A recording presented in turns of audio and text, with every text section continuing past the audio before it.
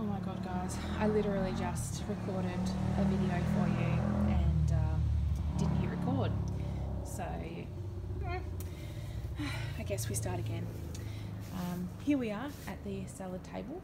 Um, this is we have salad growing elsewhere as well, but um, this is kind of the the original location for the salad. Um, here we've got my mini greenhouse. It's a Saxon brand, so it's a mini greenhouse that came with its seed tray. So we'll just have a look in here. And as you can see, we've got some germination happening already. Some beautiful vegetables. It'll be nice and fresh for Christmas. So in this line here, in this back line here, we've got some beautiful red onions, which will transplant out when they're a little bit bigger. This line here, we've actually got a row of beans. So at the front I've got some borlotti beans, which I'll be drying and using as dried beans. And then this bean variety is actually called Sex Without Strings. So hoping it's going to be as exciting a bean variety as it sounds.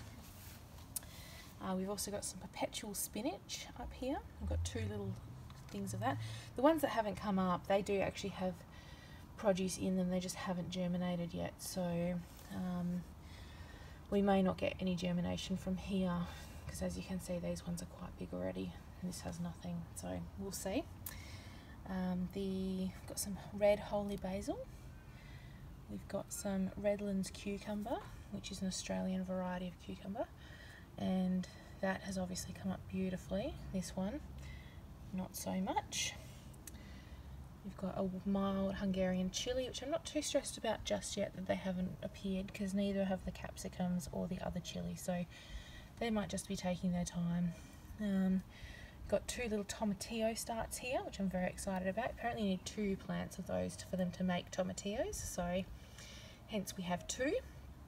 And we've got a yin yang bean um, in here as well. So hopefully they will come up shortly and we'll be able to show you some progress as we go and as with the point of the channel I'll be going through how to prepare these, how to eat them, why you should eat them and just you know show you some really cool varieties that are out there.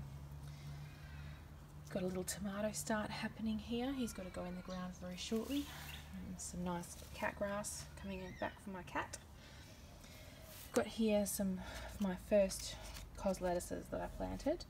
Um, we've been really enjoying these. They are a really lovely variety, very normal to what you get in the shops. Um, so these were probably the first foray into vegetables that I made. Um, and as you can see, we've just been picking from the bottom here to keep the plant nice and green. It's a trick I picked up from Charles Dowding. It's a fantastic little trick as well, and you can just you can just harvest by taking it off like that. Um, that white stuff that comes out of your lettuces is normal. It's not poisonous. It's perfectly harmless. Um, it's just what makes the flavour of the lettuce. You may be able to hear they're very, very crunchy and quite delicious. So in here we've also got some red onions that have been planted direct. Hopefully they will be coming up into nice beautiful proper onions soon. I may have to thin them out a little bit but I'm just going to let them grow for a little bit longer. Over the back here we've got some spring onions. I bought these at the same time as I bought the cos lettuces so they're just a standard spring. But as you can see they're starting to go to seed and I'll be collecting those as they come up. We've just been harvesting these as a come and come or cut and come again method. So basically you just tear off or snip off the amount that you need. Um, let the rest keep growing.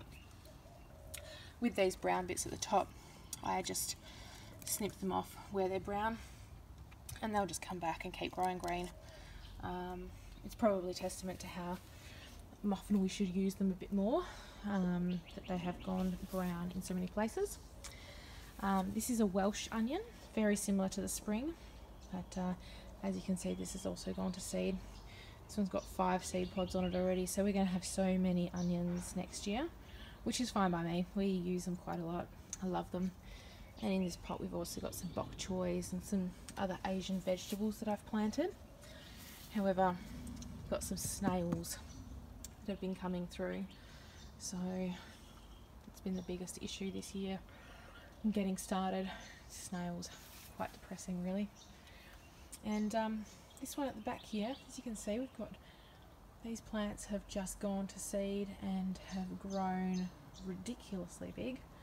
Um, these are red pak choys. I had some pak choi and some tatsoi in here, but these are all um, pak choi, I believe, that have gone to seed here. So these will be um, collected once they're all dried out. As you can see, there's thousands and thousands of seeds in here. So we might not collect all of them, but we'll definitely be eating a lot of Asian vegetables next year. I think that's a given. So in here we've also got some little starts of some other Asian vegetables, but I found a evidence of a snail in here earlier, so who knows what that has been eating. Um, on the side here we've got some iceberg lettuces that are going to be red. Not sure if you can see that, red iceberg. So it's just one of the things that I like to do here is just um, plant in varieties that you don't normally see in the shops. Um, get some variety in our diet and try to encourage um, us to eat a much more various diet of um, plants. So that's all for today. This is just my my lettuce table and um, we shall be back again with another section of the garden. Alright, see ya. Bye.